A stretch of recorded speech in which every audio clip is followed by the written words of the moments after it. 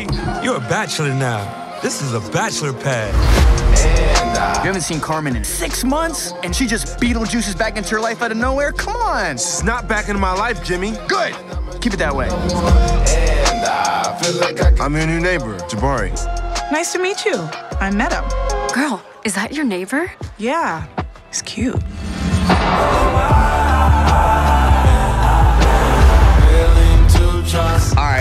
Then what happened?